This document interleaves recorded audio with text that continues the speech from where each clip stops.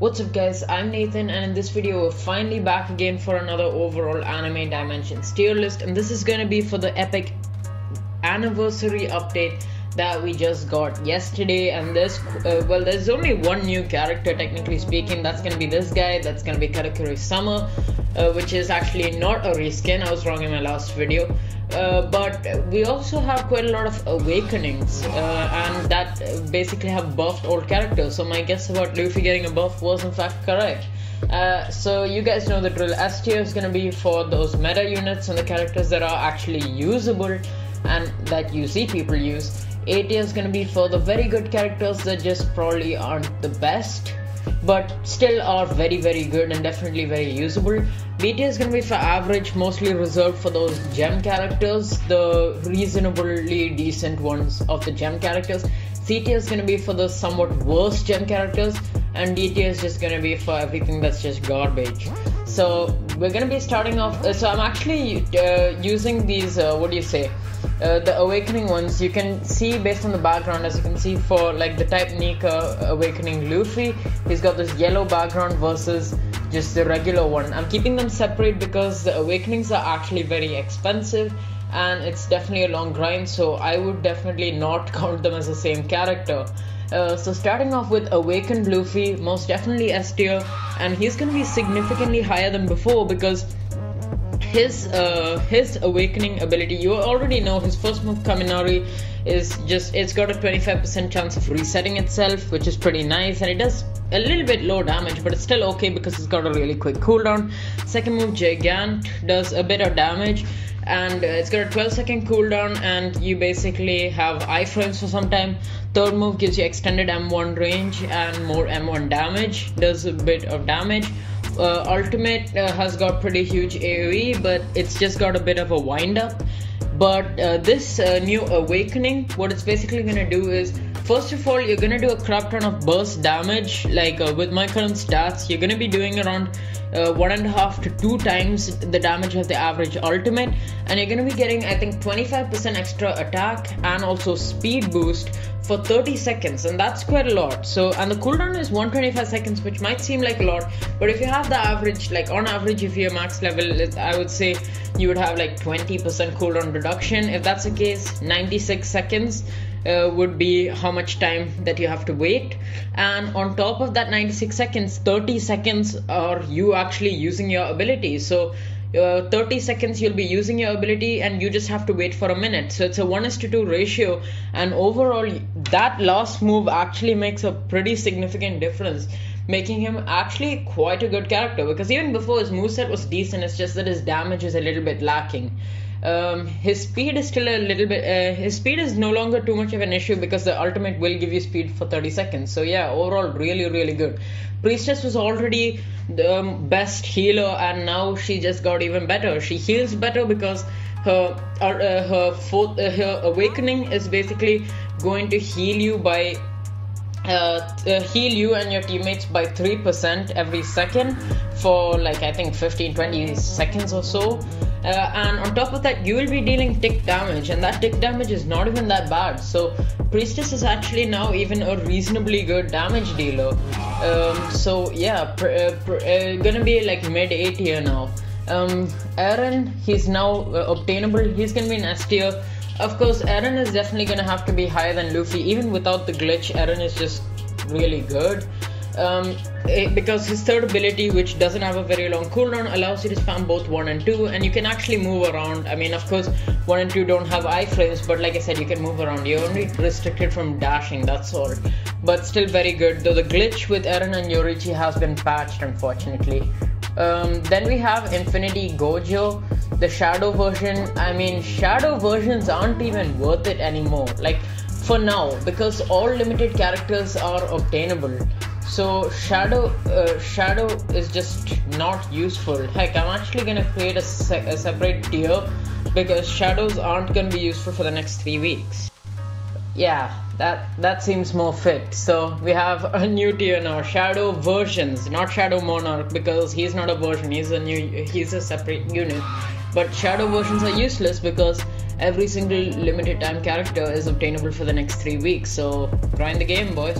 Um, anyway, the next is gonna be Summer Katakuri, and he is a pay to win character. Kind of. Well, it's not really paid to win because he's not that overpowered. He is good, don't get me wrong. His moveset is good, but his damage is a little bit on the lower side. Um, and I'll tell you about his moves. Basically, you can obtain him uh, from getting the premium battle pass and getting all the way to rank 30. If you will like pay for the entire thing, it's gonna cost you 4,000 robux, which is definitely not worth it. And uh, honestly, unless you're a collector, even paying uh, 800 robux and then grinding well if this is your sole goal i mean 800 robux is kind of worth it because you will be getting a lot of extra awakening gems because without those extra awakening gems you can only awaken one character. Uh, that i suggest should be luffy because he is permanent now so everyone should be able to get him. Priestess is good but unless you have the premium one you won't be able to awaken her. Um, so i mean yeah the premium thing is worth it but uh, paying just for this guy is probably not that worth it uh, his first move, I mean, it's got a very fast cooldown, um, but it's got a kind of small AoE, if I may say. Um, and it also doesn't do the best damage. The second move is actually quite good. It's got a good AoE and pulls everyone to the center of his whirlpool. Um, and you can also move around. You don't get locked in place or anything. So that's a pretty nice move. The third move um, kind of goes forward and you can control the shark sort of thing and deal quite a good amount of damage, but it's got a long cooldown of 24 seconds, and that's the issue. And the ultimate is kind of like um, his third skill of the regular version, or like Asuna's ultimate as well, which has uh, which does kind of maybe average a bit below average damage, but it's got a reasonable cooldown and you can move around. Overall, it's a good move set. Um, and it's pretty good for time challenges, I would say but it's just because of his damage i'm gonna have to put him in a tier rather than s tier. Plus the fact that you have to spend robux to get him and it's absolutely not possible to get him without that. Shadow yoriichi is gonna chill in this. He's gonna be above uh, gojo because i mean no he's not gonna be above gojo because the glitch is gone so i have to pay respects for this guy.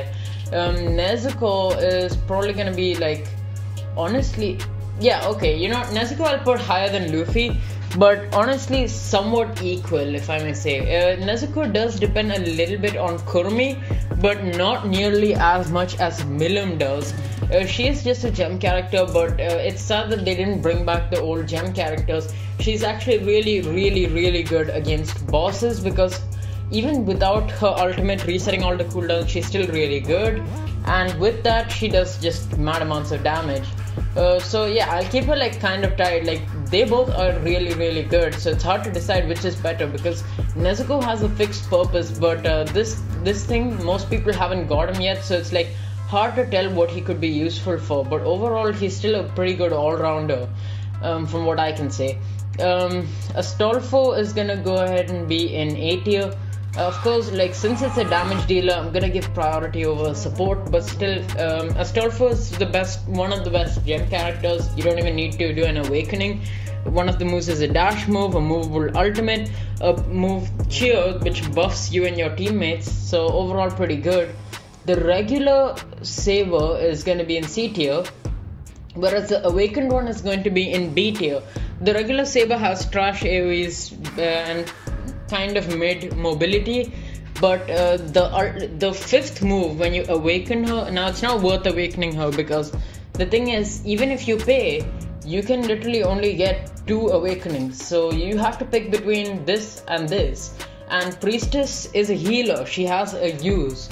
And most likely you're not going to be using this character because it's just the main like animation for when you're getting awakening that has a massive aoe and does a mad amount of damage for a gem character anyway, about 4 million. However, the buff that you get isn't the best. You just get extended M1 range, which isn't a big deal, and we've seen that a lot.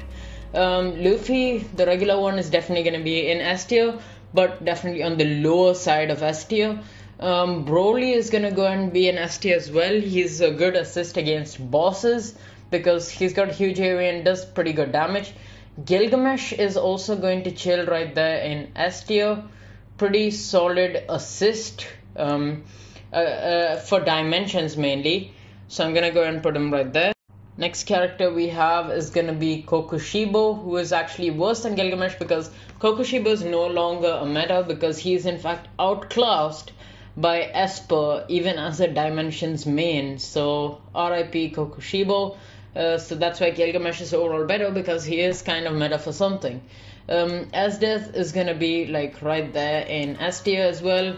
Um, she's got pretty good AoE. I mean, nothing much extra to say there uh, on Esdeath. Actually, I'll I'll move I'll move Esdeath below Luffy, like, uh, and even Broly because Broly is a meta. Esdeath isn't. Um, Katakuri, the regular one, is gonna also be an A tier. Um, totally different characters. His ultimate just uh, allows you to spam his first three moves. It's just that the ultimate doesn't do much damage and it has a very long cooldown, which is why I'm not a big fan of this character. Um, the regular Saber is gonna be a reasonable B tier. Honestly, I'd pick the regular Saber over this one just because this one's so expensive and no amount of grinding will help you get all three of the awakenings, which is why I just don't prefer this because it doesn't have any particular use, even though that final ability is really broken. You're not fine. I'll be merciful, I'll put her there because this is just a performance based one. But yeah, um, then we have Demon Lord Rimuru, who's gonna be right there. Basically, he has a lifesteal move and a lot of iframes. Not much to say about him. Um, then we have uh, Kirito, who's also gonna be a solid, solid A tier. Probably one of the best like budget uh, characters that you could get if you just don't want to spend too much. Because I think he's just like 2,400 raid tokens, and he's got a very good move set and reasonable damage and decent mobility as well. Um, uh, Misaka is also gonna be right there. Um, honestly, I would say kind of tied with um, Saber. You know, she's better because Saber doesn't have mobility, whereas Misaka does, and Misaka also has faster cooldowns. Levi is gonna be right there. I mean, he's 3000 raid tokens, honestly, not worth the price because Kirito is literally better overall. But I mean, if you get him as a drop, he's not bad because he has a pretty fun move set. Um, Naruto is gonna go ahead and be right there, a solid S tier. Um, he's not really useful as a main, but a pretty pretty good assist. Um, for all purposes, he does good damage and has huge AoE and has a decently fast cooldown. Ryuko is gonna be like definitely up there in S tier mainly because her assist is godly. She's a good main and her assist is just insane because it has a 60 second cooldown which is very fast versus like 75 is already pretty considered quite fast and 90 is the average but 60 seconds with still good damage is amazing um, alice is going to be in a tier as well I mean, she heals, but overall, um, not that. I mean, she gives a lot of iframes and heals, but the damage is just uh, garbage. Uh, then we have um, who is gonna probably be like Milim depends a lot on Kurumi, which is why I'm reluctant to put her very high. I'll put her right above the regular Luffy. Um, but without Kurumi, she's honestly not that good. Then we have Shadow Esdeath, who's going to be like uh, coming under the currently useless category. Um, Shadow Esdeath is probably better than Gojo, so I'm gonna put him there. Uh, speaking of which, we have Infinity Gojo, who's going to be right there also S tier, but most definitely not the best character that you could get, and there's a lot of better picks. But he is also a good assist, so that's that. You know what? I'll actually I'll actually put Gojo a bit higher than Esdeath. The the shadow versions definitely don't get Gojo no matter what. But for the regular thing, Gojo is actually maybe a bit better because his assist is actually quite good and it is usable. Um, as a main, he's okay. I mean, you're allowed to spam, but his damage is just really low. Um, Primordial is going to be top B, uh, top B tier, the best 1600 gem obtainable character because his third move will actually increase your attack and range. So uh, that makes your ultimate really, really good.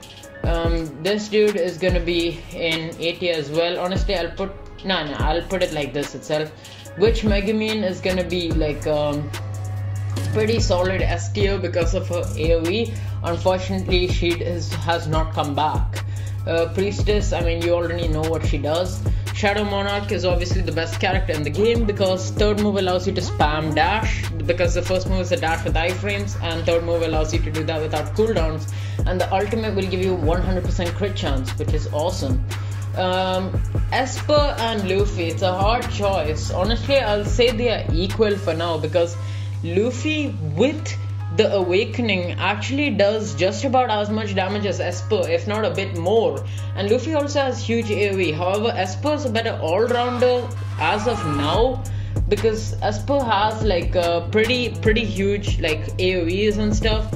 And uh, Luffy is very good, but maybe he's also more expensive. But the thing is, they both do about the same damage, but Esper so far is faster in dimensions, but Luffy's awakening hasn't really been tested out in dimensions yet. His ultimate, like I said, does give you that speed boost. The only thing is, the second move will lock you in place, and even the awakening that gives you so much damage does lock you in place for a while, meaning I don't think you'd outclass Esper in dimensions. But um, in raids and boss rushes, um, Luffy is potentially better or at least equal to Esper. So I'm gonna say that overall they're equal. I'm not saying Esper is better. Uh, Rengoku is going to be right there in A tier because um, his assist is not bad. There's nothing much to say about that. Um, Bakugo is gonna just be in C. Uh, nah, I'll put him in like no, no. I'll literally put him in C tier. He's not useful as a gem character, even because Lancer. Even if you want like a very fast character, Lancer is a better one. Um, Eugeo is definitely gonna be a solid B tier. Um, he has mobility, which puts him above Saber. Uh, his first move is a good dash. Third and fourth move have good AoE, and the fourth move heals. Um, this is a good one, but useless now because you can get him from the shop. Um, Gojo is gonna go ahead and be um, probably right there because he is good, but um, you do need very high crit chance and crit damage to make him actually useful. Kaneki is gonna be like bottom B tier because um, uh, his ultimate he's kind of like Katakuri but weaker, and I'm not a huge fan of Katakuri. I definitely don't enjoy using Kaneki. Um, Megumin is gonna be like C tier because just really really bad mobility. You get locked in place with our iframes. That's just really bad. Um, now Fumi um, is a support character and this character now exists as a support. So like um, this guy is literally useless. Genos not bad. I'm gonna go and put him right there in B tier. He does not have insane mobility, which is why I cannot put him higher than Alteria's Awakening. Uh, Todoroki is a pretty reasonable B tier. Uh, Vampire Toga is probably gonna be as well like low B tier. Tanjiro is gonna be a C tier definitely. I mean he's not the best, but he does have I think a dash skill. Um, this uh, Winter Spirit Leer is also gonna be a B tier. Zenitsu is kinda trash, gonna be in C tier. Um, Emiya is actually a pretty reasonably good B tier. I'll go I'll go and put him right there. Uh, better than Kaneki definitely. Uh, is also going to be here just because he's a good assist because of the AoE. Asuna is also a pretty solid B tier because just a very good move set. Same for Zoro. Uh, they, these three are just very good budget characters. All Might is also decently good, but um, yeah, I'll put him right there, like low B tier. Uh, I'll put him right here. Uh, then we have Rukia, who's gonna be in C tier. Akuma or Shinra is going to be like also in B tier because he has a dash skill and he's got a skill that makes him move fast, which is nice. Sukuna is going to be also in B tier, but he's not that OP. Um, and these characters are just better on a budget. Um, Gray is just really, really trash. Um, Sasuke is definitely not the best. Akaza is is okay. His ultimate will reset your cooldowns. He's like Nezuko, but ultra weak compared to Nezuko. Asta is also gonna be right there. Um, Itadori is not bad actually. I'm gonna go and put him in CT as well. Um, Natsu is also fairly decent for that extremely cheap cost. Sakura is okay because you won't die at least. Killua is also just okay. C tier. Um, Goku is of course D tier. Uh, Ichigo is going to be like bottom C tier because Ichigo is like one of the best uh, uh, starters along with Naruto. Uh, Luffy is also going to be in D and Deku is also going to be in D. So that is pretty much it for. Uh, wait, no, that's not it. Uh, what am I even saying? There's like a couple more characters. We have Lancer, who's going to be um, low B. This is the reason why I put Bakugo and stuff because Lancer's fast and you might as well use him if you just if all you want to be is fast. Um, the regular Yoriichi is probably gonna be like um, now that there's no glitch, um, I would have to put him just in A tier because he's nothing special anymore. And that now we come to the end of this tier list. So thank you guys for watching. Make sure to like and subscribe if you haven't already. Thank you guys for 3k subs once again. Let me know what other videos you want to see and I'll catch you guys in the next video. See you.